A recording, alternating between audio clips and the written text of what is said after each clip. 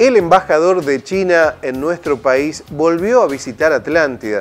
Lo hizo días pasados en el Salón Municipal para entregar reconocimientos y obsequios a estudiantes de institutos educativos locales en el marco de un interesante concurso artístico organizado por la ciudad de Sujai. Buen momento para conversar con él sobre los fuertes lazos de relacionamiento que existen entre China, sus provincias, sus ciudades, con el departamento de Canelones.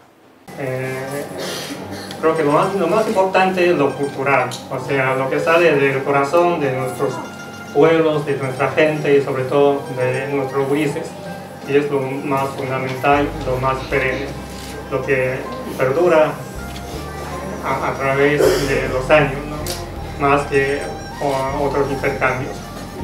Y también me valgo de la oportunidad para destacar especialmente que en los últimos años hemos logrado un gran avance eh, en la cooperación binacional, sobre todo en la asociación estratégica Uruguay-China establecida en el año 2016.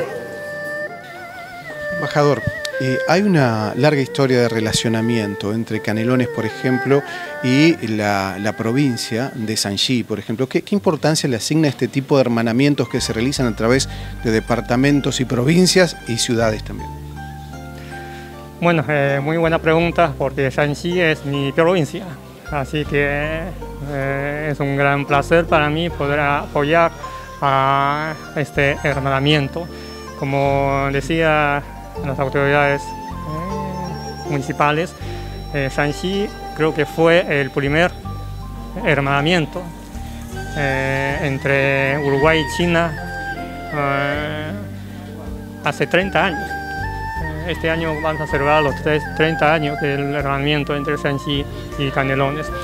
Esperamos que eh, se pueda celebrar a lo grande y que se puedan también tener eh, un mayor intercambio y cooperación más práctico, más efectivo, que redunde en beneficio de nuestro comercio, de nuestra cooperación económica e intercambio cultural. Eh, ¿Cuál es la mirada que tienen ustedes desde la Embajada del Departamento de Canelones? Canelones, como todos saben, es un departamento importantísimo de Uruguay. Es el segundo departamento más poblado, eh, económicamente muy poderoso y creo que existe un gran potencial de una mayor cooperación con China. Eh, como decía Gustavo, eh, además de Zhuhai, Atlántida también está en contacto amistoso con una ciudad de la provincia también de Shanxi, que se llama Tatong, en materia de eh, protección del patrimonio mundial.